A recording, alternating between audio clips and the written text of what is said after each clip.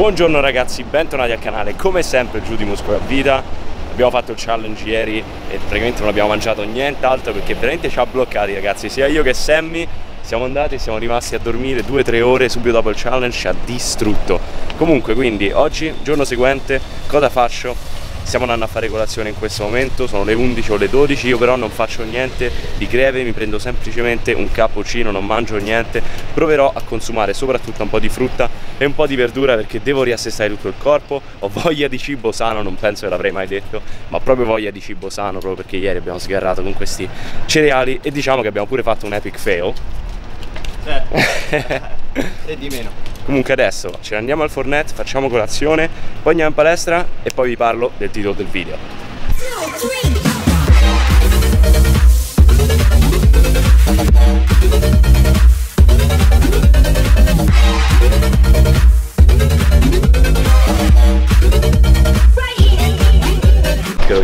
Agi, ce l'hai gli apps?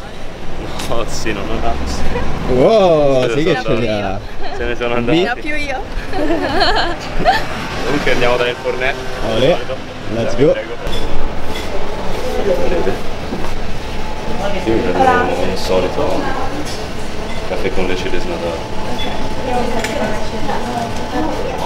Sammy, che vuoi? Io il mio cornetto. Riempito il crocino? Eh sì. latte di soia per mia sorella, io mi sono preso un cappuccino e poi non ho resistito alla tentazione e quindi mi sono preso uno di questi panini iberici, invece andiamo da Sammy, Hello, si è preso i miei classici due cornetti con una spremuta di arancia. questa è la nostra colazione post challenge. Finita lì la colazione, questo è il primo punto in questi daily vlogs in cui vi parlo direttamente, siamo solamente io e voi, Sammy sta a casa, sta riposando, ha fatto un grandissimo lavoro ieri con l'edit e quindi abbiamo detto dai, take the day off, rilassati e pre- tanto prendo io il vlog che dovrei saper filmare. Comunque, che ne dite della barba? Io voglio sapere cosa ne pensate voi. Sammy mi ha detto, ah Gigi, Gigi, ah, devi tenere la barba, stai molto meglio. Io personalmente mi vedo meglio senza la barba proprio perché non ne ho tanta, anche se questa è una settimana, quindi magari fra l'altra settimana un po' di più, ma non ne ho tanta e senza barba mi sento più squadrato, mi sento più, non lo so, mi sento magari un po' meglio, però la barba dà il tocco di un pochino più grande, quindi fatemi sapere perché è una cosa importante. Se voi mi dite tagliatela, la taglio. Siete più importanti voi di Sammy.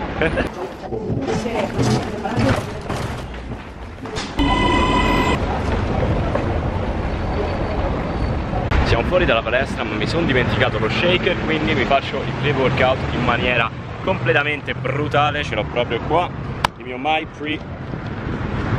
Questo è il My Pre 2.0 se volete ragazzi con Muscolo a Vita ci avete il 30% off e il 9 e 10 luglio con Giulio 50 avete il 50% off. Comunque lo facciamo nella maniera più brutale vi appoggio un attimo qua. Uno scoop diretto in bocca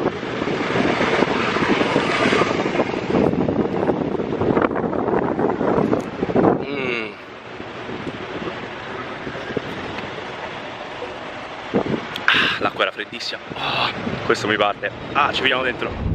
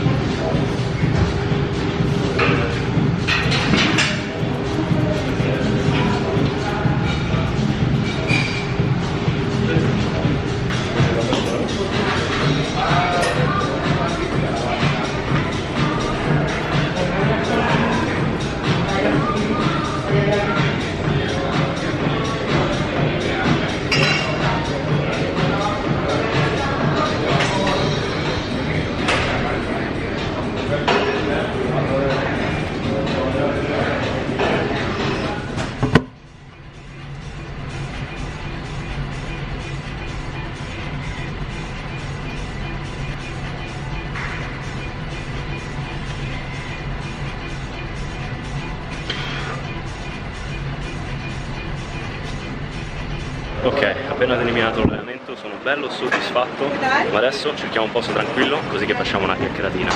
Allora, partendo dal presupposto che non faccio questo video né per vantarmi perché non c'è niente di cui vantarsi, i numeri di follow sui social non dovrebbero aumentare l'autostima, non dovrebbero farvi pensare che siete meglio di altri, quindi non lo faccio né per vantare né dovete pensare che questi sono i consigli e le cose che funzionano per arrivare a centinaia di migliaia di followers, perché come sapete io non l'ho fatto, io sono arrivato quasi a 15.000 followers e io parlo o della scienza o di esperienza personale, quindi non parlo mai di qualcosa che non ho fatto io stesso. Seconda cosa, se state qua e volete aumentare i vostri followers in modo rapidissimo, allora questo non è per voi, in modo rapido, in modo usando dei trucchetti o dei segreti, allora questo video non è per voi perché esistono dei bots, i bots sono ad esempio quando vedete dei, degli account molto grandi con qualche migliaio di followers che un giorno vengono da voi, mettono un paio di like, vi followano poi notate che magari un mese dopo sono unfollowati e poi vi rifollowano ancora oppure quelli che vi lasciano i commenti un pochino standard su ogni singola foto. Quelli sono i boss, c'è un sacco di gente soprattutto nell'industria fitness anche nomi abbastanza grandi italiani che fanno uso di questi bots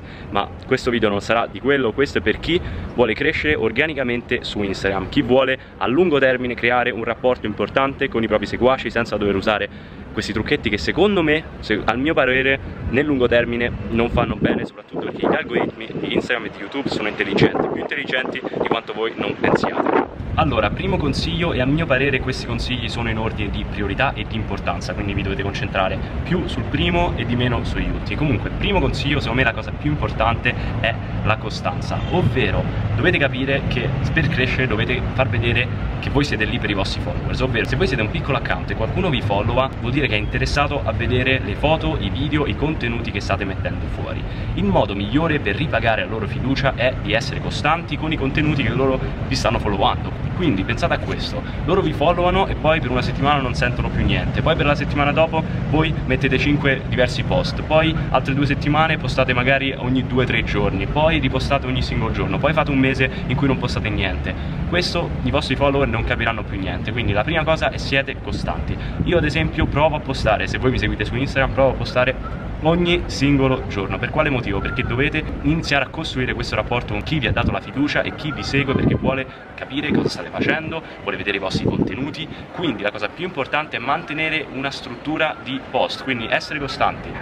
Se non ci riuscite a postare ogni singolo giorno, dite che postate ogni, a giorni alterni oppure ogni tre giorni qualsiasi cosa quello che riuscite a fare però dovete rimanerci dovete fare di tutto per non perdere nemmeno una giornata in cui postate. Ad esempio Rob Lipset in questo momento ha tipo 400.000 followers un altro di fitness ma industria inglese o americana e lui ha detto che per tre anni di fila ha postato ogni singolo giorno almeno una volta al giorno e non ha mai mancato un giorno. Quindi questa cosa più importante dovete essere costanti non dovete fare daily uploads di foto ma almeno ogni due giorni qualsiasi cosa decidete fatelo così i vostri seguaci i vostri followers sanno esattamente quando aspettarsi il vostro prossimo post. La cosa più importante. Consiglio numero due anche questo è importantissimo. Dovete sempre e comunque mettere i vostri seguaci mettere i vostri followers prima di voi e con ogni singolo post dovete portare valore a loro molti iniziano, postano molte foto personali, sto facendo questo, sto facendo questo, guardate quanto sono figo, sono in spiaggia, sono al bar, nanana, ma voi dovete pensare, soprattutto se fate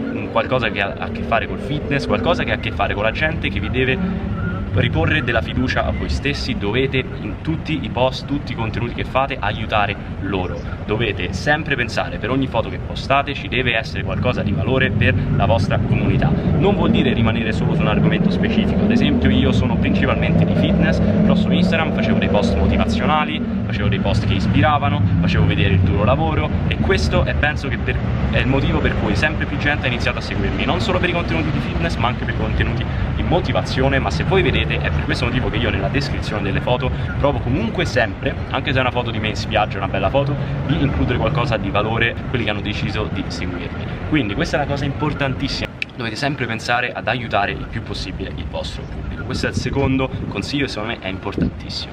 Terzo consiglio, e magari molti di voi pensavano che questo venisse all'inizio, è la qualità delle foto ve lo dico io, la qualità delle foto su Instagram magari è importantissimo per arrivare a centinaia di migliaia di followers, perché sì, lì create anche l'attesa di una bella foto, non solamente di contenuti interessanti o contenuti informativi, ma anche proprio la bellezza della foto in sé, come è stata scattata, l'editing, tutto questo. Ma pensate un po', le mie foto che sono meno buone, di qualità meno buone, scattate spesso con un telefono invece che con la telecamera Sony A7, fanno meglio, hanno più likes, hanno più commenti, hanno più interazioni rispetto alle foto che io penserei ma questa è una foto super di qualità, è fatta benissimo, è scattata perfettamente, luce perfetta, qualità assurda, molto vivida e invece le foto di qualità semplicemente scattate nel momento vanno meglio, quindi non fate che la qualità vi faccia restare indietro, ovviamente dovete avere un pochino di qualità, non fate sempre selfie, non state sempre con la luce che non si vede niente, provate a mettervi comunque in condizioni migliori possibili,